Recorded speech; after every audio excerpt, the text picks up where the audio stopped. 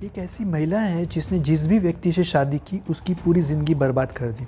इस महिला ने 11 साल में आठ पुरुषों से शादी की। ये मामला तेलंगाना राज्य का है, जहाँ एक के बाद एक आठ पुरुषों को शादी का जीवन भर पछतावा होगा।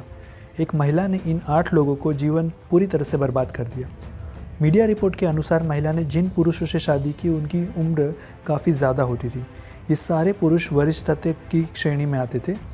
ये महिला कुछ समय में उन पुरुषों का विश्वास जीतती थी और फिर शादी करके उनके घर का सारा नकदी और जेवर लेकर फरार हो जाती थी। इस महिला का नाम मोनिका मलिक बताया जा रहा है। मोनिका ने सबसे आखिर में एक छियासठ वर्षीय पुरुष जुगल किशोर से शादी की थी। यह कवि नगर के एक ठेकेदार हैं। इनके पास काफ़ी रुपया पैसा और जेवरात था।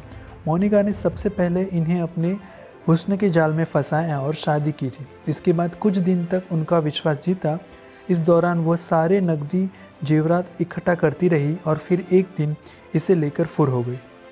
जुगल किशोर ने एक साल पहले ही अपनी पत्नी को खोया था। इसके बाद उन्होंने मोनिका से शादी की थी।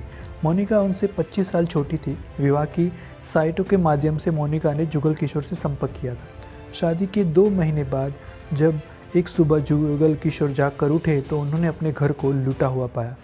जुगल किशोर ने बताया कि मोनिका उनके घर के सारे गहने और पंद्रह लाख रुपए नकद लेकर फरार हो गई थी। सीसीटीवी फुटेज में मोनिका के करतूत का खुलासा हुआ।